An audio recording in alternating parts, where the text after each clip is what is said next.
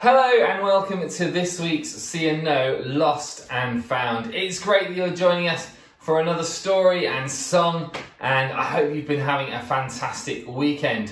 Well, Nic and Flo are here. It's great that you're joining us, but we need to find out who else is here as well. So we're going to sing our welcome song. So we'll sing it and leave a nice big gap for you, or mum or dad, or grandma or grandpa, or whoever you're with today to say at home. Are you ready? Are you ready, Flo? Let's sing together. Where is, where is, did you come? Did you come? Come to see and know. There they are, Flo. Hello and welcome to See and Know. Now, I wonder, Flo, and you guys at home as well, do you know your animal noises? Well, let's find out. Are you ready? You love them, don't you, Flo? You ready? What's that? It's a cow. Did you get that that was a cow as well? Brilliant. Okay, should we try another one? Oh, I wonder.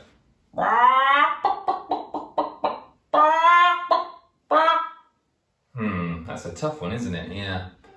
Uh, I wonder, what's that? Yes, that's right, it's a chicken. Brilliant, you got it. Okay, shall we try one more and see if you can guess which animal this is? Are you ready, Flo? Okay, are you ready?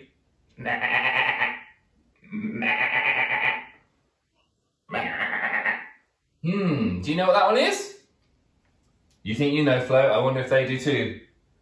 It's a sheep, that's right. Well, today's story is all about a sheep as well. So we're going to tell our story, Lost and Found. But first of all, we need to practice our actions. Okay, so first of all, we're going to wiggle all of our fingers to show there's lots.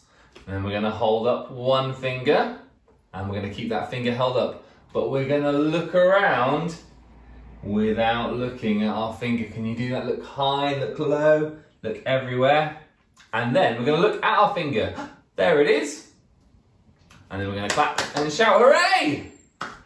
Okay, do you think you've got those? So lots of fingers, one finger, look around, look at the finger, clap and shout hooray! This is a story lost and found. There was once a shepherd who had lots of sheep. One day, one of the sheep got lost. Let's hold up one finger. The shepherd looked everywhere. Let's look high and low, but don't look at that finger. Hmm, can you see it? At last, the sheep was found. There it is. There's that finger. The shepherd was very happy. Hooray!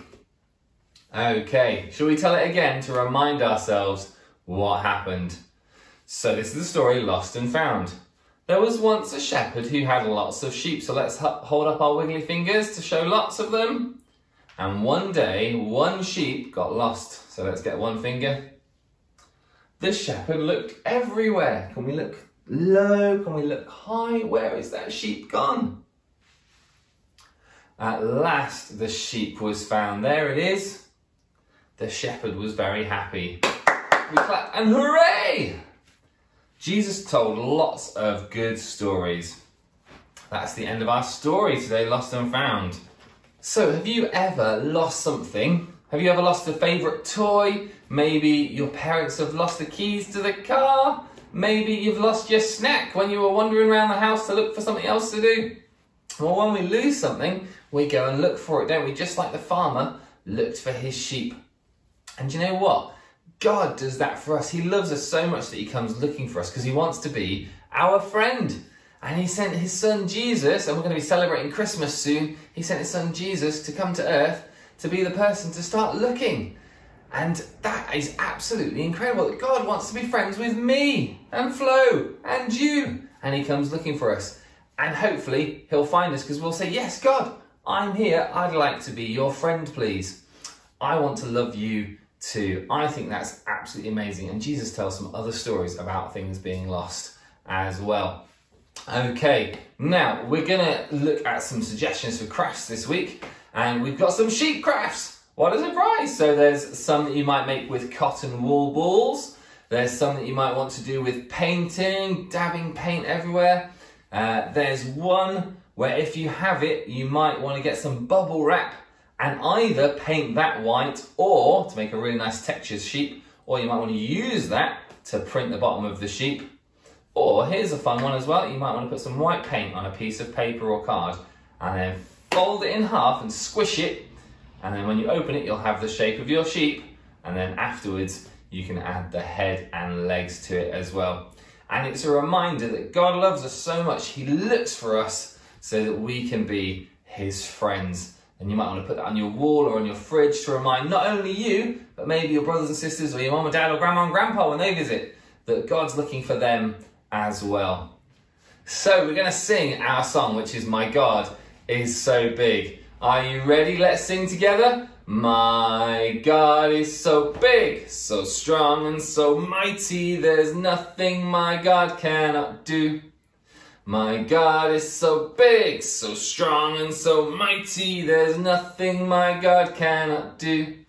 The mountains are His, the rivers are His, the stars are His handiwork too. My God is so big, so strong and so mighty, there's nothing my God cannot do. Shall we sing that through once more? Are you ready? Let's sing together. My God is so big, so strong and so mighty, there's nothing my God cannot do. My God is so big, so strong and so mighty, there's nothing my God cannot do. The mountains are His, the rivers are his, the stars are his handiwork too. My God is so big, so strong and so mighty, there's nothing my God cannot do.